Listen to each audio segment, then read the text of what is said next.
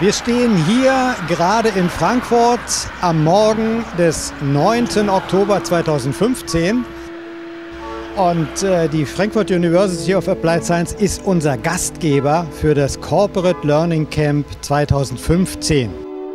Und ich freue mich, dass wir heute äh, 200 Teilgebende hier begrüßen konnten. Ungefähr 70 Prozent der Teilnehmer kommen unserer Schätzung nach unmittelbar aus Unternehmen, aus dem Personal- oder Corporate Learning-Bereich.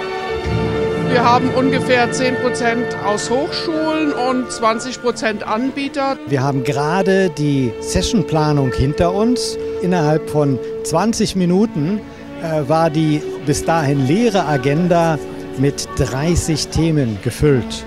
Ein großes Thema ist äh, das Thema soziales Lernen und On-the-Job-Training. Du hast ja eine Session dazu gemacht. Selbstorganisiertes Lernen, Kompetenzorientierung. Wenn die Kollegen und Kolleginnen plötzlich von der E-Mail, wo sie was verteilen, auf die Aktivitätenströme, wo sie was rausziehen müssen und sich Informationen holen müssen. Wie können wir mit verschiedenen Generationen des Lernens umgehen? Wie können wir Wissen vermitteln? Und äh, gibt es jetzt nur digital nur oder gibt es Classroom-Training? Gibt es einen Mix? Und das mal so wirklich offen zu diskutieren aus verschiedenen Branchen heraus, extrem spannend. Und das hat natürlich gravierende Konsequenzen für die Bildungssysteme und damit auch für die handelnden Personen äh, in den Unternehmen, aber natürlich auch für die Führungskräfte, die sich immer mehr zu äh, Entwicklungspartnern ihrer Mitarbeiter wandeln.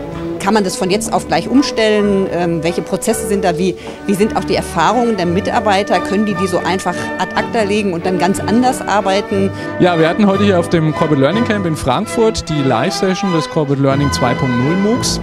Wir hatten eine kleine Sofaecke aufgebaut und äh, im Prinzip den Leuten Mikrofone in die Hand gedrückt. Und äh, es ist total faszinierend. Mir sagte eben ein Journalist einer Fachzeitschrift, äh, dass hier Themen diskutiert werden, die Sie alle bisher überhaupt nicht auf dem Radar hatten. Also das freut mich immer bei solchen Unkonferenzformaten, dass man hier überrascht wird. Überrascht äh, von Themen, überrascht von Menschen, überrascht von Ideen.